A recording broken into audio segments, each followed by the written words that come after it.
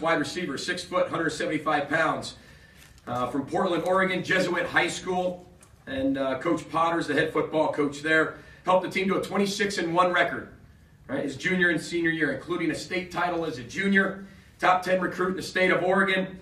Uh, his father, a lot of you probably know who he is, Omar Douglas, uh, set the Big Ten record for uh, the number of touchdowns in a game with five. I think it still stands. I think uh, against Purdue.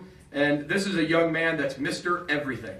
Uh, uh, he's going to play wide out here. You could possibly see him on the defensive side of the ball. You could possibly see him return punts.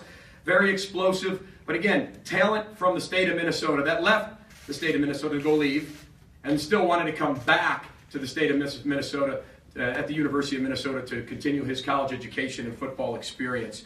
Um, but this man is, uh, he's special. He's Mr. Everything. We're really, really excited about him and uh, getting him here. Both mom and dad, obviously, I told you earlier, are alums.